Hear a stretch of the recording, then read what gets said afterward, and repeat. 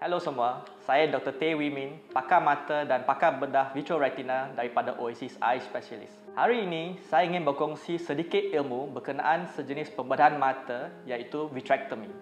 Pembedahan vitrectomy biasanya dilakukan oleh pakar bedah vitreoretina dan ia melibatkan pengeluaran jeli dalam mata yang dipanggil vitreous. Mengapakah pembedahan ini perlu dilakukan?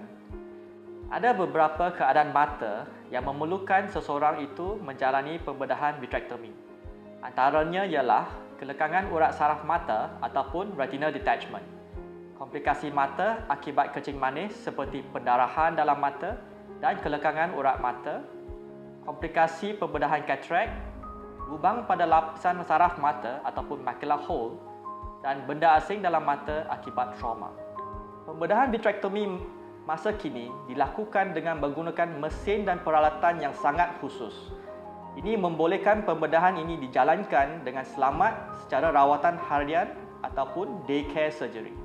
Bagaimanakah pembedahan ini dilakukan? Lazimnya, tiga luka kecil akan dibuat di bahagian putih mata anda setelah ubat anestetik diberi pada tepi bola mata. Tiga luka kecil ini adalah sangat kecil dan biasanya tidak perlu dijahit.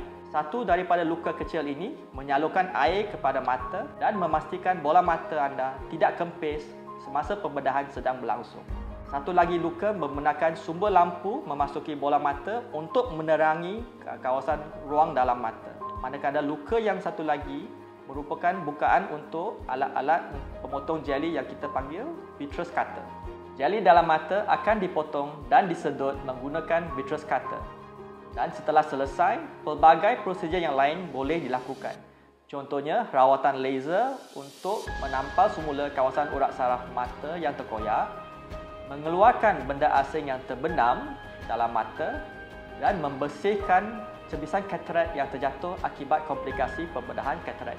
Pada penghujung pembedahan vitrectomy, sejenis gas ataupun minyak yang khas biasanya akan dimasukkan ke dalam rongga mata. Gas ataupun minyak ini bertujuan menampan urat saraf mata anda untuk satu jangka masa tertentu. Jika gas ataupun minyak khas ini dimasukkan ke dalam mata, terdapat petua-petua serta pantang larang yang perlu dipatuhi selepas pembedahan untuk membantu proses pemulihan mata anda. Ada kalanya pembedahan vitrectomy digabungkan sekali dengan pembedahan katarak mata. Ini kerana katarak tersebut mungkin sudah terlampau tebal sehingga mengganggu dalam proses pembedahan vitrectomy. Selain itu, gas ataupun minyak yang terpaksa dimasukkan dalam mata ketika pembedahan vitrectomy ini turut mengakibatkan katarak dalam mata anda terjadi dengan lebih cepat. Oleh yang demikian, kedua-dua pembedahan ini mungkin digabungkan supaya proses pemulihan penglihatan anda akan lebih cepat dan anda hanya perlu memasuki bilik pembedahan sekali sahaja.